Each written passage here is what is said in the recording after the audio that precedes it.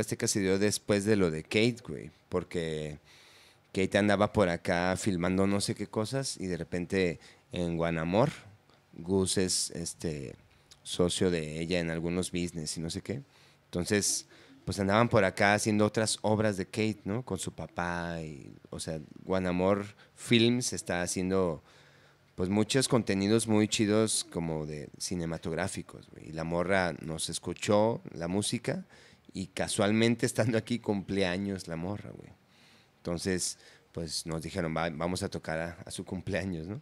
Y estuvo bien chido porque, pues estuvo bien padre la fiesta, pero el video de, de Suero fue antes, ¿no? O sea, antes de que estuviera acá.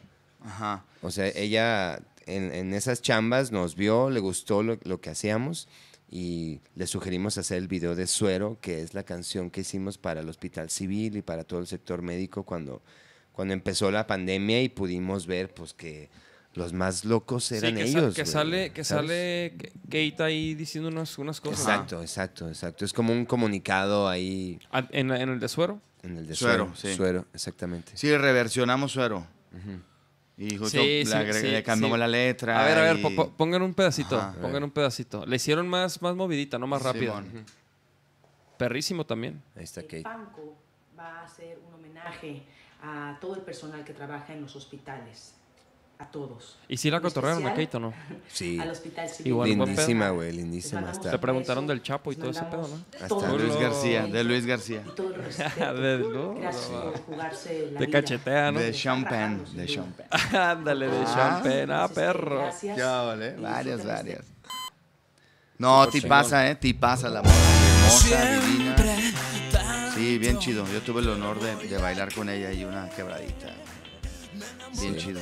Sí, la neta, la morra se ve su experiencia, es súper chida. Luego tocamos con Le Funk al día siguiente, güey, en su cumpleaños. O sea, fuimos a otra cena donde pues era el festejo al otro día, güey.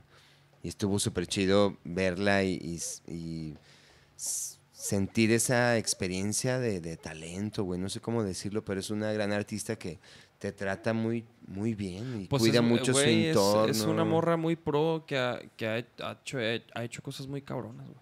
Así de fácil. Sí, güey, sí, sí, sí. Sí, una es- persona brillante, la neta. Ha crecido cada vez más. Sí, al final es como la toma de decisiones, ¿no? Que vas llevando, que te vayan empujando a, a sitios más chidos, ¿no? Vive en Los Ángeles, está de poca madre. Sí, tiene otros business ahí de un tequila. No, bien perro, sí. Y por ejemplo, ustedes sí vieron en sus redes así como reflejado como esta como campaña, pues por decirlo así con con a TV partir Azteca. de ahí nosotros Ajá. creo que dimos el brinco con, Con. Kate se disparó mucho Con más. Fíjate se que, los viernes botanero, ¿eh?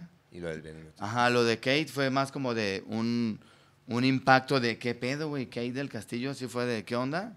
Y, a- y también porque el, proyecto fue muy de agradecimiento, ¿no? O sea, sí fue una canción que, que era pues como para alivianar un poco la situación en ese momento justo de pandemia, que era como lo más crítico, así de, Ajá. ¿Qué pedo, no? Cuatro meses llevamos y sí, que no iban a ser 15 días nomás. Apenas cuatro ¿no? meses ilu- ilusos, ¿verdad? No hay que engancharse, todo relajado. Préndete esa baisa pa' que veas de lo que hablo. Es que yo prefiero fumar que tomar. Hace menos daño, es la realidad.